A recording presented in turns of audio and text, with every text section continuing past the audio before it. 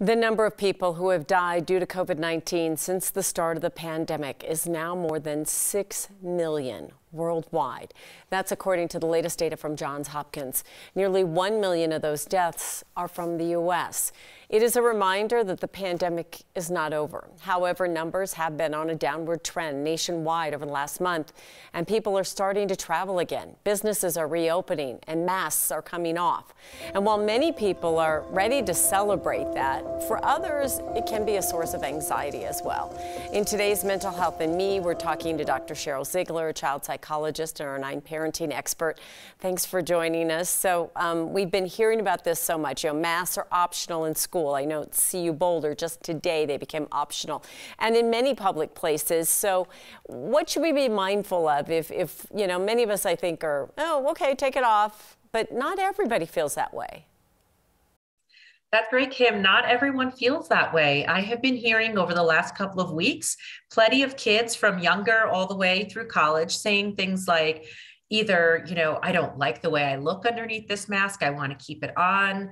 I feel uncomfortable with health concerns. I got braces during the pandemic. I don't like my nose. All these different kinds of things that even for me, I was a little surprised at how much actually people were sort of comforted or even hiding behind a mask. And so I think we need to be aware of that not everybody is comfortable with this. And that if you have a child that's maybe pushing back or doesn't want to take it off, to really take the time to have a conversation with them about what they're worried about, what their questions are, and just what they're thinking.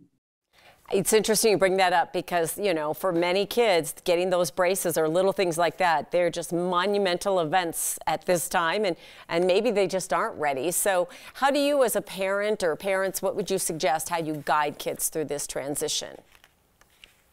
Yeah, I think the first thing is, you know, we always want to lead with empathy. And so if you do have a child that, let's say, is comfortable taking their mask off, you really want to say to them, you know, not everybody is. Here are some different reasons why they're not um, how do you still be inclusive not make other kids or even other adults feel uncomfortable about their choices? I think that's number one. And i think that even some school educators and administrators have mentioned that to me that we want to make sure there isn't a backlash where then there now there's something against you if you don't take off your mask. So number one is empathy. Number two is communication how does your kid feel about this? How safe do they feel? I think, you know, let's not take it for granted. Some people are celebrating and some people are not happy about this. So, just for them to know that, just in general, mask wearing seems to cause people to have some really big feelings and emotions. And let's try to understand both sides before we're quick to judge or, you know, not spend time with someone because of their choice. So true. And, and kids are always listening. They've heard so many discussions over the last couple of years about masks and strong opinions from parents, and that doesn't make it any easier when they go into the classroom hearing that. So this is a time that we really kind of need to navigate everything and check out on our mental health and, and just feel good about where we are, I guess, feel strong.